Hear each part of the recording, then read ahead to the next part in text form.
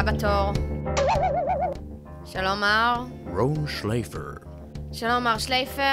Enchanted. כן, בוא ספר לי למה אתה מתאים אה, לעבוד במשרד הפרסום שלנו. The issue here isn't why I'm not the to work here, it's why I am the to work here. אני יודעת, זה מה ששאלתי. Enchanted. אוקיי, אז כמו שאתה יודע, פרסום מבוסס על... Happiness. לא, פרסום מבוסס על לספר סיפור. A happy story.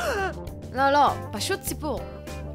טוב, בכל אופן, בוא, בוא תגיד לי מה אתה יודע על sponsored stories, augmented reality, remarketing, essence wheel brand, USP, ESP, compositioning, revitalization brand, integrate, marketing display, twin instruments.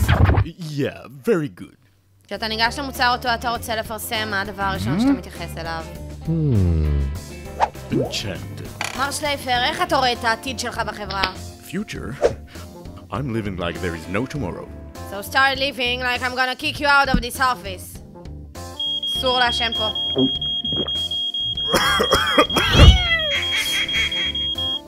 באיזה אופן תרענן מותג?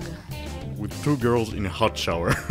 מר שלייפר, למה לעזאזל אני אמורה לבחור בך למשרה? because people want to be told what to do so badly. They listen to anyone. אז listen to me, בלי תואר בפרסום, אין לך מה לעשות כאן. לך תלמד, ואז נדבר. Enchant. Out, gented!